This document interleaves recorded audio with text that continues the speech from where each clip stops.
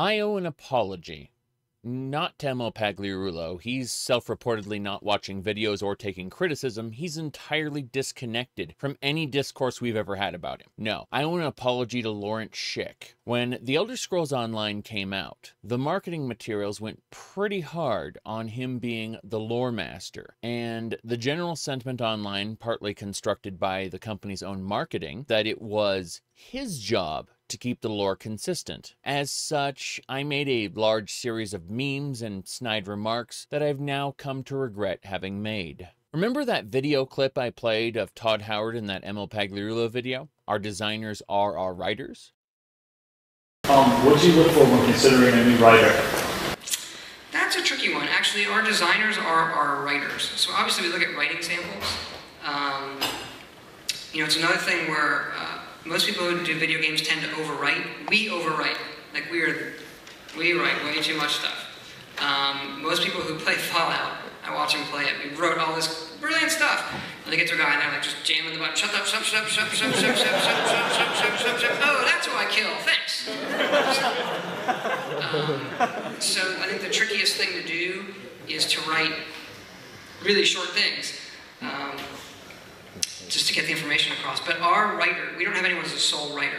They're also quest designers, level designers. So um, if you're looking for that kind of thing, we would look for, like on a quest design, you really have to understand some programming language. We'd look for a quest, like here's what the player does, here's what the characters say, that kind of stuff.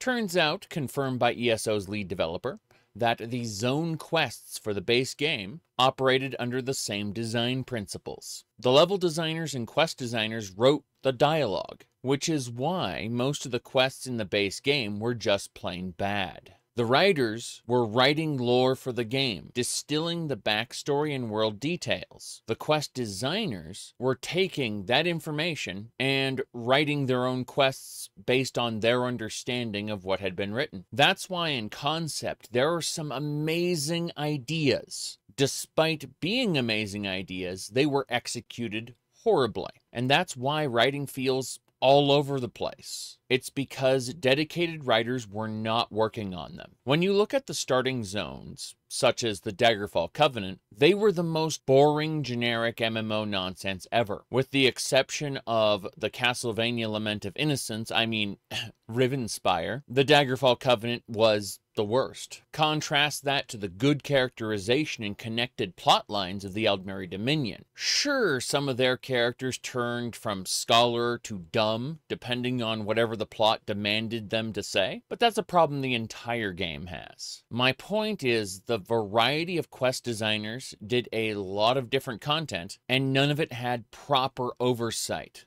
by full time writers. According to Lawrence Schick's own interviews, there wasn't good communication between the designers and the writers when the game was in development. And things slept through the cracks, which is why House Indoril of Morrowind was represented by a wolf when the game was initially released. That got fixed.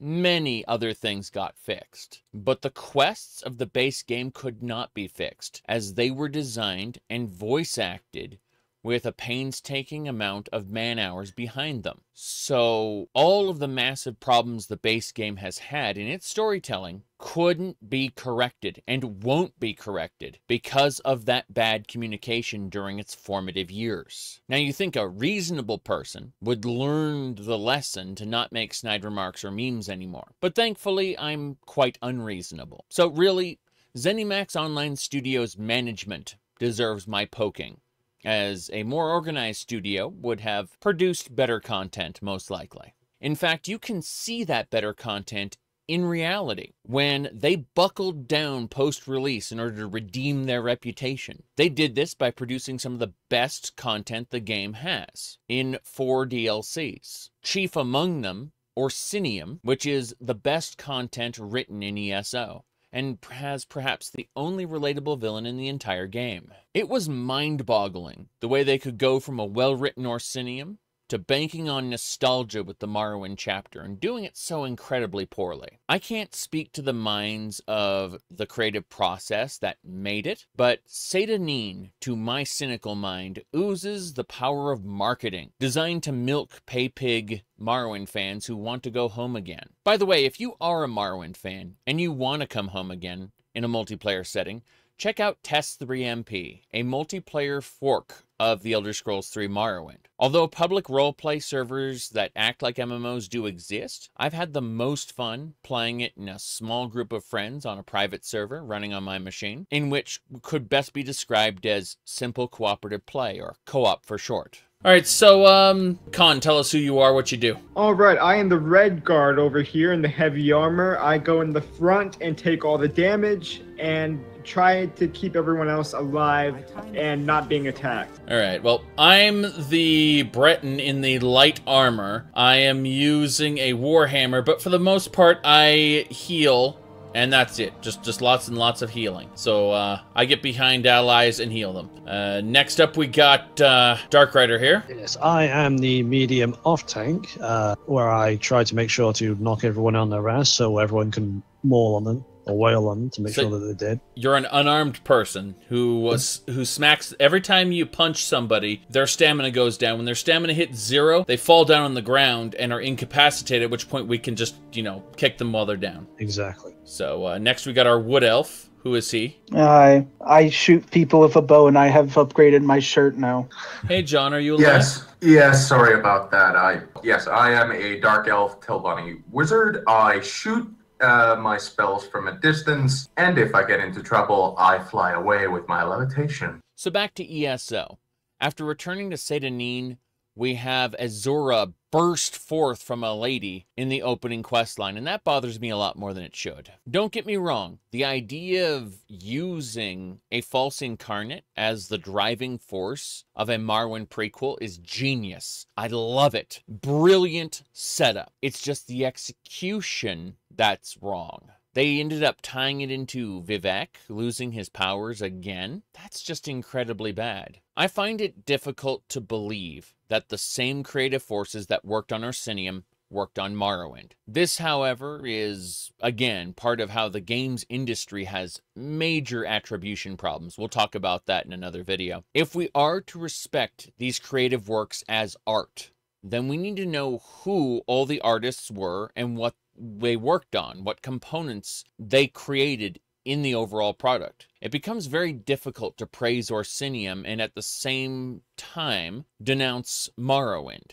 the Morrowind chapter that is, because proper separations can't be made. It calls my thoughts on Orsinium into question as the human mind wants to rationalize exactly why one turned out well and the other turned out poorly. In this case, we can only look at the studio, ZeniMax Online Studios, like a primate looks at a monolith, alien and unknowable, at least until the cracks start showing up. Following up, Morrowind was the Clockwork City, a mixed bag. Divayth Fyr was a breath of fresh air as a quest giver. Yes, he is more or less just a quest giver, but the person who wrote him understood what an ornery Telvanni wizard should act like. The actual city itself felt very wrong. But some of the side quests were genuinely enjoyable, and that final discussion with Sotha Sil projected Paul Atreides from Children of Dune as the tortured divinity whose path was already planned out for him, a man who was trapped by his knowledge of the future. This content, however, was credited to Leamon Tuttle, not Schick. Tuttle was also credited with Murkmire,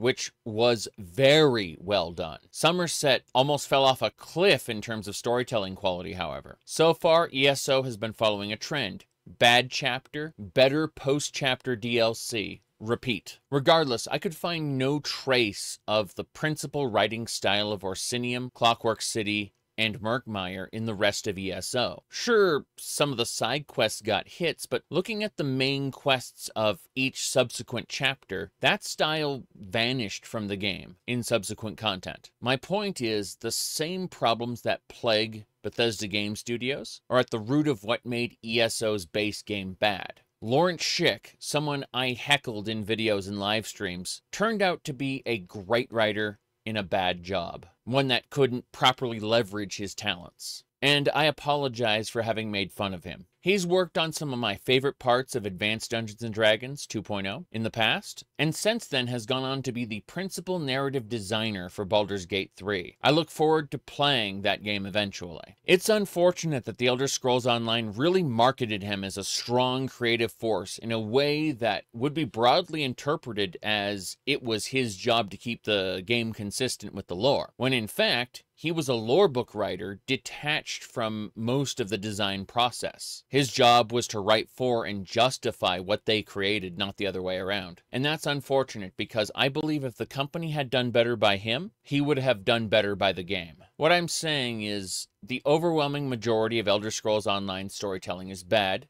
but it's not his fault. It's a shame too, because there are some really good parts of ESO. Even the worst part of ESO, Greymoor, had some great content in it. It's just a game that has never, ever been able to take on anything close to an idealized form. Now, I've hit the point where I no longer purchase chapters and I play things a year or two later. I've got other MMO styled content to fill my time in Final Fantasy XIV, among others. So while I may discuss ESO in the days to come, never expect me to cover the latest release of ESO content again until it's aged a bit. Since chapters are, make no mistake, single zone DLC charging expansion prices. A horrible value proposition. There are lots of positive things I can say about ESO, but they always have some kind of asterisk attached, and that's not good. On the other hand, my compliments to Lawrence Schick.